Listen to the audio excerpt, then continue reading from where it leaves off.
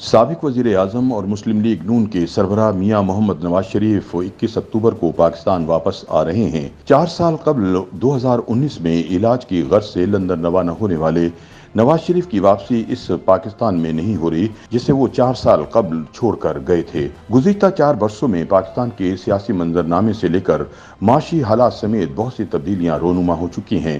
गुजशत चार बरसों में न सिर्फ़ सियासी जमातों के बयानिए तब्दील हुए, बल्कि हुकूमतें भी तब्दील होती चली गईं। कुछ इदारे मज़बूत से मज़बूत तर हो गए तो कहीं से ये आवाज़ें आईं कि हमारे हाथ में कुछ नहीं। इन तमाम तर तब्दीलियों के बावजूद भी मुस्लिम लीग नून से ताल्लुक़ रखने वाले बेशतर रहनुमाओं का ख्याल है कि नवाज़ शरीफ की वतन वापसी के बाद मामला तब्दील होकर बेहतरी की तरफ़ जाएँगे।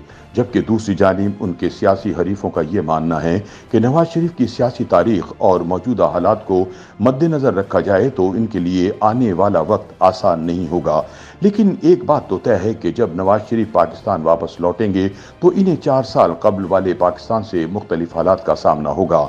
नवाज़ शरीफ के इकतदार से बेदखली के बाद के बरसों में न सिर्फ़ उनकी ज़ाती ज़िंदगी और सियासत में, बल्कि मुल्की सियासी मंजरनामे पर बहुत सी तब्दीलियाँ रूनुमा हुई हैं। नवाज़ शरीफ ने अपनी हुकूमत जाने के बाद मजामती सियासत का अंदाज अपनाया और मुल्की सियासत में फ़ौज की मुदाखलत का इल्ज़ाम आयद करते हुए वोट को इज्जतों का बयानिया अपनाया। सन 2018 में नवाज़ शरीफ और इनकी बेटी का एहतसाब अदालत से सजा पाकर जेल जाना, इनकी अहलिया कुलसूम नवाज़ की वफात, दौरान कैद आम इंतबात में उनकी जमात की शिकस्त और पी टी आई का इकतदार में आना, ये सब इसकी वजह बना। नवाज़ शरीफ ने 2019 के दौरान इलाज की गर्ज से लंदन में खुद साख्ता जिलावतनी इख्तियार करते हुए वहाँ बैठकर मुल्क की सियासत में किरदार अदा किया। फिर इनके सियासी हरीफ इमरान खान के इस्टेब्लिशमेंट के साथ ताल्लुकात में दरार आई। यूँ तहरीक इंसाफ और फौज के एक पेज पर होने का बयानिया भी खत्म हो गया। इस दौरान मुल्क की तेरह सियासी जमातों बशमूल पाकिस्तान मुस्लिम लीग नून के इतिहाद पी डी एम ने इमरान खान के खिलाफ ये बयानिया बनाया कि इन्हें इस्टेब्लिशमेंट की जानब से मुल्क पर मुसलत किया गया।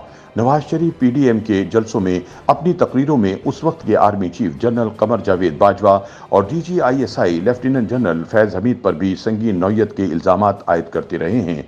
फिर 2020 के अवाखिर में इनकी जमात के सियासी बयानी में तब्दीली नज़र आई। वही जमात जो उस वक्त की हुकूमत को खराब मुल्क माशी सूरत हाल का जिम्मेदार और फौज पर सियासत में मुदाखलत का इल्ज़ाम आयद करती थी, इसने जनरल बाजवा की मुद्दत मुलाजमत में तोसी की हिमायत कर दी।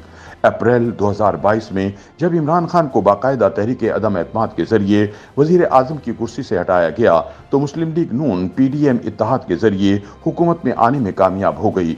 उस वक्त मुस्लिम लीग नून का मजामती बयानिया, मुफाहमती बयानी में तब्दील हो गया और इमरान खान ने फौज के साथ एक पेज की मुफाहमती पॉलिसी तरक करते हुए मुस्लिम लीग की जगह ले ली और इस्टेब्लिशमेंट मुखालिफ सियासी बयानिया अपनाया। अक्सर सियासी तजियाकार ये राय रखते हैं कि एक मरतबा फिर मुल्क की सियासत की तारीख दोहराई जा रही है।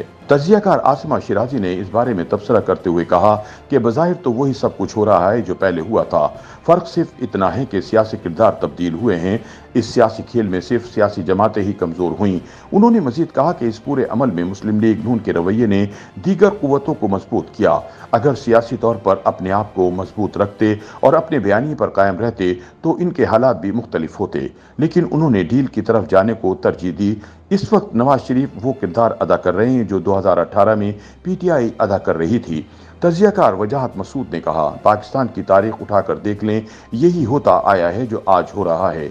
इकतदार की भूखी सियासी जमातें फौज के हाथों एक दूसरे के खिलाफ इस्तेमाल होती हैं और दीगर इदारे जिसमें अदलिया और ब्यूरोक्रेसी शामिल हैं, वो फौज के साथ बतौर जूनियर क्राइम पार्टनर के काम करते हैं। पाकिस्तानी सियासत की बात हो तो फौजी इस्टेब्लिशमेंट का नाम बार बार लिया जाता है।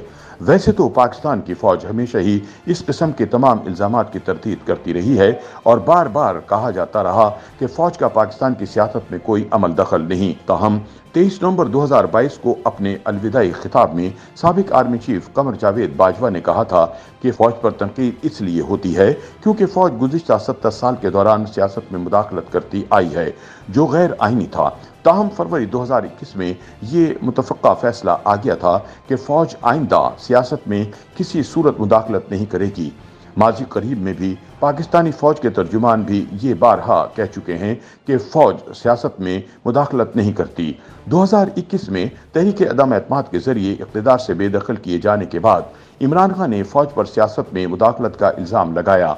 मगर इस दौरान नवाज़ शरीफ और इनकी बेटी मरियम नवाज़ की जानब से मुकम्मल खामोशी रही और उन्होंने वोट को इस ददों के बयानी को नहीं दोहराया। 9 मई को अस्करी तनसीबात पर हमलों पर फौज ने खुलकर यह बयान दिया कि जिम्मेदारों के खिलाफ कार्रवाई होगी। इस ज़मीन में तहरीक इंसाफ के खिलाफ क्रैकडाउन पर जमात इसे मुल्क में गैर एलानिया मार्शल लॉ कहती है। यकीनन फौज पहले से ज़्यादा मज़बूत हो गई है, जिसकी कई मिसालें हालिया दिनों में देखने को मिल रही हैं। नौ मई के वाकत में मतलूब तहरीक इंसाफ के वो रहनुमा और कारकुन जो पहले गायब थे, वो टीवी स्क्रीन पर नमूदार हुए, जैसे सदाकत अब्बासी, उस्मान ढार और फरूख हबीब। इन सबने सबका मौकफ छोड़कर जिम्मेदार इमरान खान को करार दिया। फौज की सियासत में किरदार के हवाले से बात करते हुए वजात मसूद का कहना था कि पहले नवाज़ शरीफ को इकतदार से निकाल कर फौज इमरान खान को अपनी मर्ज़ी से इकतदार में लाई और इमरान खान को बाहर निकाल कर फौज पहले से ज़्यादा मज़बूत हो गई है। फौज ने जरा अबलाग समेत मीशत नादरा और नैब तक हर जगह अपना गलबा बढ़ा लिया। उन्होंने मजीद कहा कि नौ मई को दरअसल अस्करी बालादस्ती मुस्तकम करने के लिए उछाला जा रहा है। वाहिद उम्मीद यह है कि मीशत की मंतक मुल्की सिमत तब्दील करने पर मजबूर कर दे, वरना मौजूदा पाकिस्तान मुकम्मल तौर पर गैर एलानिया अस्करी गिरफ्त में है। नवाज़ शरीफ और इनकी सियासत के बारे में बात करते हुए तजियाकार वजाहत मसूद का कहना था कि नवाज़ शरीफ उम्र और सेहत के जिस हिस्से में हैं पार्टी पर उनकी गिरफ्त पहले जैसी नहीं होगी। उनका ख्याल है कि पीटीआई के हामियों की सूरत में इन्हें एक मज़बूत मुखालिफ धड़े का सामना करना होगा। पाकिस्तान की मीशत और सियासत बुनियादी फैसलों की मुतकाजी है और नवाज़ शरीफ ये नहीं कर पाएँगे। माजी में भी फौज से नवाज़ शरीफ का टकराव, नवाज़ शरीफ की किसी गलती के बायस नहीं होता था। सियासत और मीशत में फौज की मुदाखलत के बायस मुंतब हुकूमतों और इस्टेबलिशमेंट में तसादम नागजीर हो जाता है। मुस्लिम लीग नून के मुखालिफ ज़्यादातर सियासतदानों का यह ख्याल है कि नवाज़ शरीफ के लिए मुस्तबिल में रास्ता आसान नहीं होगा। YouTube पर गूगली न्यूज़ देखने के लिए YouTube.com की सर्च बार में गूगली न्यूज़ टीवी टाइप करें। गूगली न्यूज़ के पेज पर सुर्ख रंग के सब्सक्रिप्शन वाले बटन पर क्लिक करना ना भूलिए। YouTube पेज पर अपलोड होने वाली वीडियो से बाखबर रहने के लिए बेल आइकन पर क्लिक कीजिए। आपको हर नई वीडियो के बारे में नोटिफिकेशन मौसू हो जाएगा।